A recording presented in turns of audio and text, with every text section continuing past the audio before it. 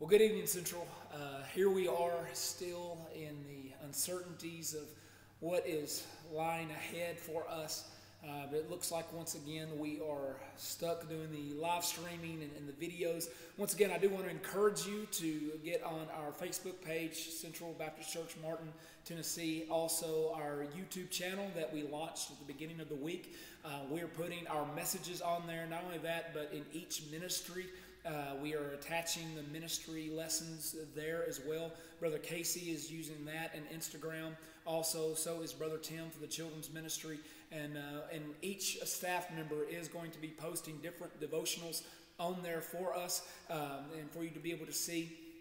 So please go on there and, and check those out. But for tonight, Wednesday night, uh, I wanted to share with you what the Lord has laid on my heart.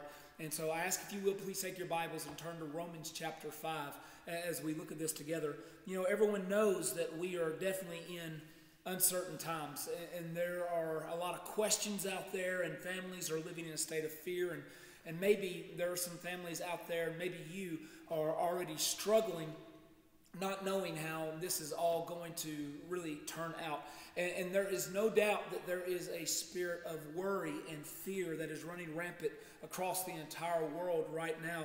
Um, that as believers, I want to remind you what the Apostle Paul told Timothy in 2 Timothy chapter 1 verse 7 he said for God has not given us a spirit of fear but of power and of love and of sound mind and so remember that excuse me and I know that deep down as believers you may be saying well brother Colin I, I know that. I, I, know that and I, have heard that and you're right and and thanks for the reminder but bills are due. Bills are due and companies are already laying off and, and the numbers excuse me the numbers just continue to rise over and over and the media just keeps pushing it and pushing it. So so brother colin i, I hear what you're saying this is also one of those things that we sit back and say maybe it's easier said than done and listen i, I completely understand and I also tell you that that you know what I would be very uh, you know um, you know, hypocritical if I didn't tell you that I'm not a little bit worried. Um, yeah, I am. And, and, you know, as a matter of fact, I have to keep reminding myself that my faith has to overcome my flesh. And, and that's what I want you to tell yourself as well. That faith has to overcome flesh. You know, it's easy to trust God when everything is going okay. And, it's easy, even, let me just go this far say, is it's easy to tithe and, and to give our offerings when everything is fine. But what about when it's not? What about when it's not? You, you know, it, it, I was talking with someone today, and, and, I, and I reminded them that our faithfulness, once again, that faithfulness is not based off of our abundance. Our faithfulness is not based off of our abundance. We are called to be faithful even in times of uncertainty, which, by the way, in reality is the whole point. and I want you to think about that. And maybe during this time, God is wanting to teach the American church, not only that, but casual Christianity in itself. Um, the, the lesson that truly following Him means that we trust Him. It means that we trust Him. Even when we're not sure how we are going to get through, we trust Him. You know, going back to the whole tithe issue, giving of our tithes and our offerings, it has never been about giving just to be giving. I want to remind you of that. Oh, no, no, no. It's always been about our hearts, and it's been about saying, Lord, this is yours. And Lord, everything that I have is yours. Well, did you say that when everything was going fine, or, or, or now are you having to prove it? Are, are you seeing that? And, and, and you know, God is, God is going to get you through. Excuse me. You know, it is a sign of our faithfulness. Church, I want to remind you, God doesn't need your money. As a matter of fact, even as he told the Israelites through the prophet Hosea in Hosea chapter 6, verse 6, he said, For I desire mercy and not sacrifice, and the knowledge of God more than burnt offerings. In other words, you know, he's saying, Hey, I, I want your heart. That's what As a matter of fact, listen to what Paul told the Corinthians. In 2 Corinthians chapter 9, verse 7 through 15, he said this So let each one give as he purposes in his heart, not grudgingly or of necessity, for God loves a cheerful giver. And God is able to make all grace abound toward you, that you, always having all sufficiency in all things, may have an abundance for every good work. As it is written, He is dispersed abroad. He is given to the poor. His righteousness endures forever. Now may he who supplies seed to the sower and bread for food supply and multiply the seed you have sown and increase the fruits of your righteousness, while you're enriched in everything for all liberality, which causes thanksgiving through God for us, okay? Uh, thanksgiving through us to God, I'm sorry. For the administration of the service not only supplies the needs of the saints, but also is abounding through many thanksgiving to God. While through the proof of this ministry, they glorify God for the obedience of your confession to the gospel of Christ, and for your liberal sharing with them with all men, and by their prayer for you, who long for you because of your exceeding grace of God in you. Thanks be to God for his indescribable gift. Matter of fact, even if you flip back a chapter right here in this, in this exact same book, if you flip back a chapter, listen to what he had to say to the churches of Macedonia. Listen to what he said in chapter 8, chapter 8, verse 1 through 5. Excuse me. Moreover, brethren, we make known to you the grace of God bestowed on the churches of Macedonia, that in a great trial of affliction, sounds like what we're going through right now, right? In a great trial of affliction, the abundance of their joy, listen to this, and their deep poverty abounded in the riches of their liberality. For I bear witness that according to their ability, yes, and beyond their ability, they were freely willing, imploring us with much urgency that we would receive the gift, the fellowship of the ministering to the saints. And not only as we had hoped, but they first gave themselves to the Lord and then to us by the will of God. So, church, may we be mindful to give ourselves to God and to His will, okay? So, let's be faithful and not fearful, okay? Let's be faithful and not fearful. But this message of hope that I want to give you tonight is not on our faithfulness of giving to the Lord. Matter of fact, friends, I want to talk to you why we do not fear, okay? Why we do not fear. Why should faith overcome our fear? Well, in the book of Romans, chapter 5, right here, that's what I want us to see. In verses 1 through 5, we see some pretty good reasons why we should not fear. So take your Bibles and look with me, if you will. Romans chapter 5, verse 1 through 5 says this Therefore, having been justified by faith, we have peace with God through our Lord Jesus Christ, through whom also we have access by faith into this grace in which we stand and rejoice in hope of the glory of God. And not only that, but we also glory in tribulations, knowing that tribulation produces perseverance, perseverance, character, and character, hope. Now, hope does not disappoint because the love of God has been poured out in our hearts by the Holy Spirit who is given to us. You know, let me ask you this question. Let, let me ask you have you ever been facing a situation and maybe you were terrified about going through it? You know, maybe it was a situation that, that you had to talk to someone about a situation, or, or maybe you were facing a situation to where maybe your boss said, Hey, I need to see you in my office, right? You know, maybe there was something like that, or maybe you had to do something and you're terrified to, to face it, right? You were terrified uh, uh that, that it was not going to end well. But then you go through it. And then you go through it and you're like, wait a minute, that wasn't so bad, right? That wasn't so bad. And, and what has ended up happening is that we've made the situation worse than it really was. Yeah, you've done that. And you know what? I've done it as well. We've all done that. Well, friends, I want to remind you that one of Satan's primary tactics is that of fear and worry. Because if he can cause us to have fear and worry, then you know what he does? He cripples us from moving forward with the gospel. That's what he does. Perhaps this is one of the reasons why, you know, we need to even put on the helmet of salvation during this time so that our minds and our focus can be on the salvation of the Lord and what he has done for us instead of what's going on around us right now. Maybe that's why we need to put on that helmet. But, church, I want to remind you that as believers, our hope is not in ourselves. Our hope is not in ourselves, but in our great God, who, as Paul told Timothy in 2 Timothy chapter 2, verse 13, he said, If we are faithless, he remains faithful. He cannot deny himself.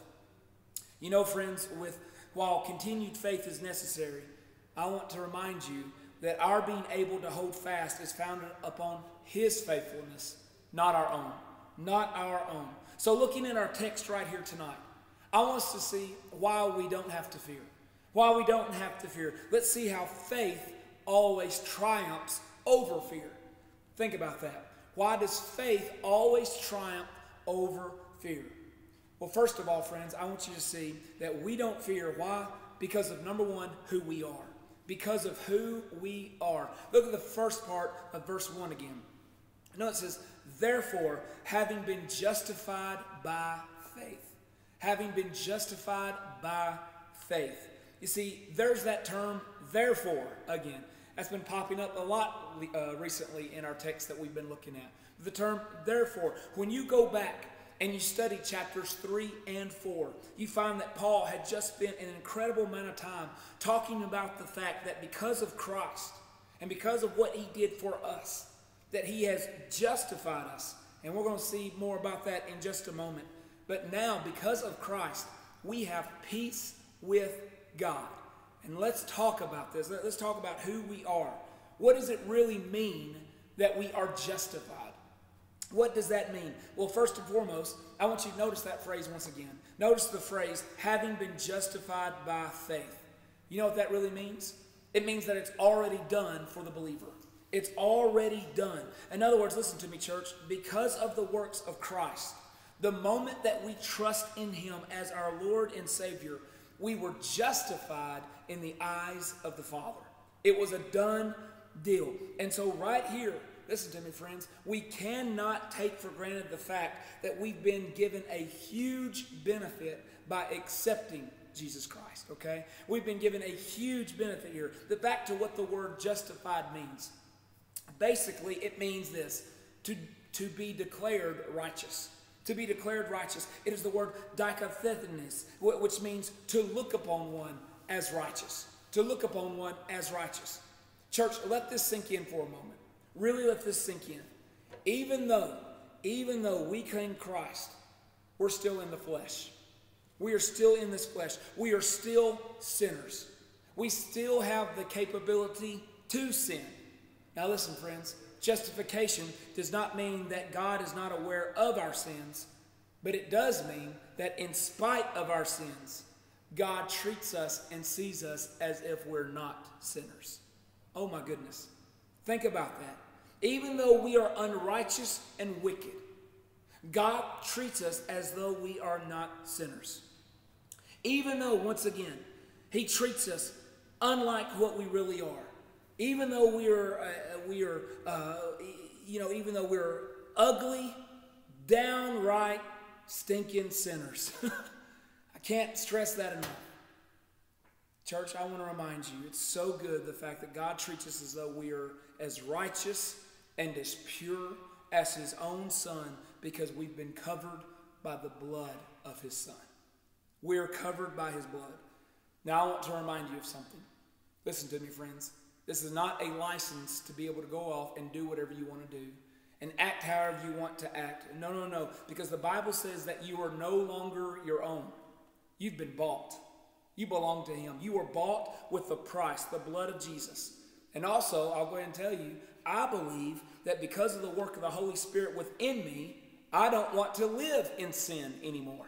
I, I don't want to do that. I want to please my Heavenly Father, and I want to live a life that is pleasing to Him.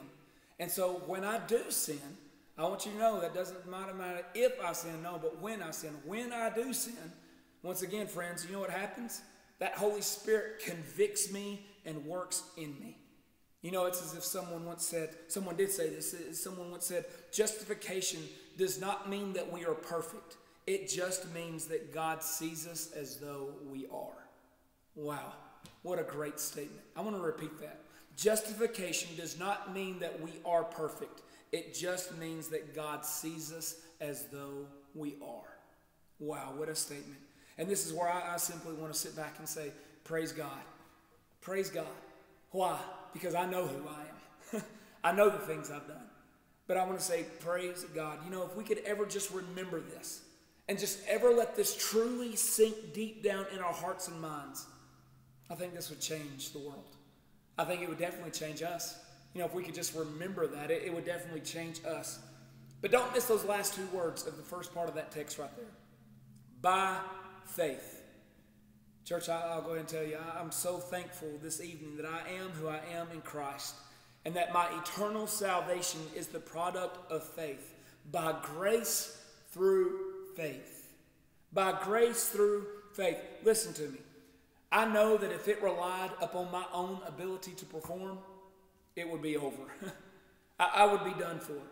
Probably by the end of the day, if we, if we were all real here. If it required me to keep a, a list of, of certain rights that I had to do and I had to accomplish by the end of the day, guess what? It would be over. I would be lost.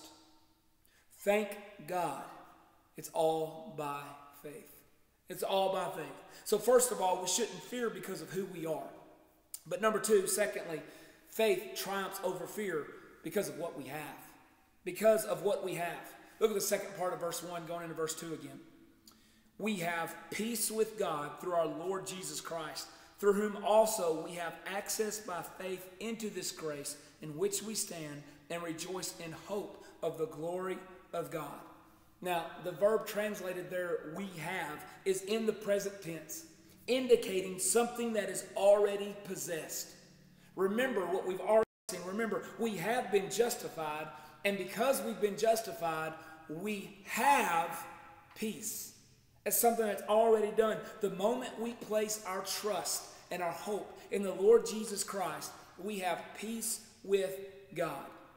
Now, when you really look at this text, when you really look at this text, you see that the peace that Paul's talking about here is not subjective, but objective. It's not subjective, it's objective. In other words, listen to me, friends, it's not a feeling, it's a fact.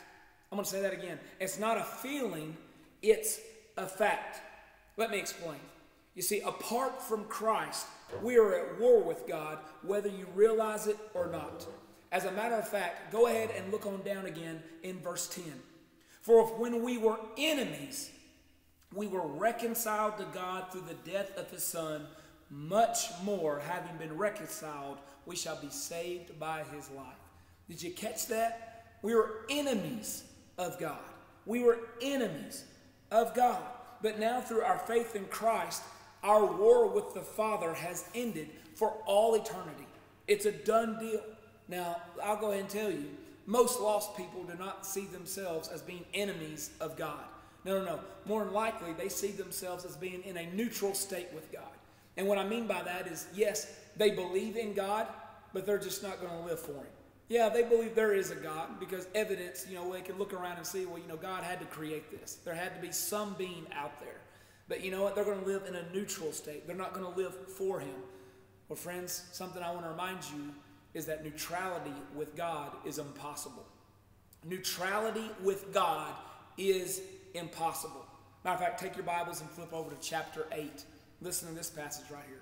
In chapter 8, verse 5 through 9, it says this For those who live according to the flesh set their minds on the things of the flesh, but those who live according to the Spirit, the things of the Spirit. For to be carnally minded is death, but to be spiritually minded is life and peace, because the carnal mind is enmity against God, for it is not subject to the law of God, nor indeed can be. So then, those who are in flesh cannot please God. But you are not in the flesh, but in the Spirit. If indeed the Spirit of God dwells in you. Now, if anyone does not have the Spirit of Christ, he is not his. So listen, neutrality with God doesn't work. As long as you're in the flesh, guess what? You're enemies with God. And that's what it says right there. That's what it's talking about. You're not for God. But now the salvation, our salvation, what we have in Christ, brings with us, brings with it the peace of God. Excuse me, listen to me. I have a peace. I have a peace uh, now knowing that God's wrath has been eternally turned away from me and one day I will have eternal happiness with him. I know that. I have that peace of knowing. Matter of fact, Colossians chapter 1, verse 20 says, And by him to reconcile all things to himself, by him, whether things on earth or things in heaven, having made peace through the blood of his cross. Because of the blood of Jesus, and because I've accepted what he's done for me by that faith, guess what? I'm cleansed. Not only that, friends, I want to remind you, I've been reconciled to God the Father Himself. But the Bible says right here, back in our main text, it tells us, you know what, that we have more than peace. That's right. This passage right here tells us that we have direct access with God the Father Himself. Now, being a child of God, I have direct access with God the Father Himself. We can enter into the very presence of God Himself without fear, knowing that He is for us. Think about that. Knowing that He's for us, we can now enter into the presence of the Creator of everything. Wow. We can enter into the Holy of Holies. We don't have to act like the priests did back in, in, the days of the Old Testament when they enter in just one day of year into the Holy of Holies. Now we have direct access with the Holy of Holies all the time because of Jesus and because He's made that way. We have that ability. We can enter into the very presence of God without fear. Let me ask you this question. Knowing that, knowing that, that we can climb up into the arms of our Father anytime we want to, and knowing that He is going to take care of us, and knowing that He wants us to come to Him, why should we fear what's going on in the world right now? Why should we fear? We have the very ear of God listening to us, wanting what's best for us. Why should we fear? Now, I love that phrase in our text right here we stand. We stand. You see, the word stand here is histamon, histamon, and it carries the idea of permanence or being firmly fixed. How about this one? Immovable. Histamon means immovable, being permanently fixed, immovable. Basically, friends, the Bible teaches us that we are absolutely secure in the Lord Jesus Christ. In other words, friends, this verse is all about our eternal security as believers. Church, although our faith is uh, necessary for salvation, it is God's grace and not the believer's faith that has the power to save us and to keep us saved. That's something to think about. Now, very quickly, Let's put all of this together because here's where it gets really good, okay? Let's put all of this together. We see just in these two verses alone, these two verses right here, we see, according to verse 1, that we're saved or justified by faith, right? Yeah, so that's what we see. That is, we did not earn, buy, or even get as a reward. Salvation was given to us as a gift. Okay, so if that's true, if that's true, then verse 2 says that we stand, or in other words, once again, remember, firmly fixed, immovable, right? Permanently fixed in a place. It says that we stand by grace. By grace. In other words, it was faith that saved the soul, and it's grace that keeps the soul. It was faith that saves the soul, but it's grace that keeps the soul. Faith that saved the soul, grace that keeps the soul. So let's don't fear because of who we are. And there's no reason to fear because of what we have in Him. But finally, and I'll close off with this one tonight faith triumphs over fear because of where our hope lies. Because of where our hope lies. Listen to verse 3 through 5 again.